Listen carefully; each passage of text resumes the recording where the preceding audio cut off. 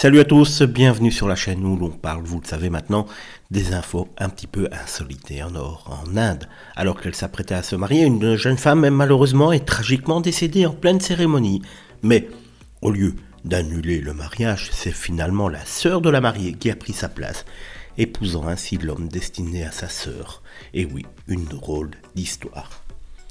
L'incident a eu lieu dans l'État indien de l'Uttar Pradesh. Selon l'agence de presse asiatique, la jeune mariée, Surapi, a soudainement perdu connaissance, juste à côté de son premier Manjev Kumar.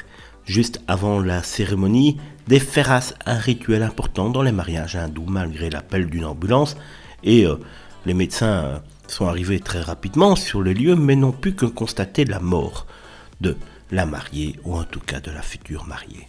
Et là, malgré le drame, les deux familles concernées se sont concertées et ont finalement décidé de poursuivre le mariage en remplaçant Sourabi par sa jeune sœur, une décision que l'intéressé a acceptée par sentiment de devoir envers sa famille.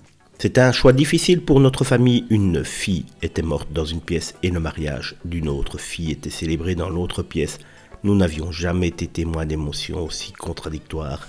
Le chagrin de sa mort et le bonheur du mariage doivent encore s'estomper déclaré l'oncle à l'ANI, une agence d'information.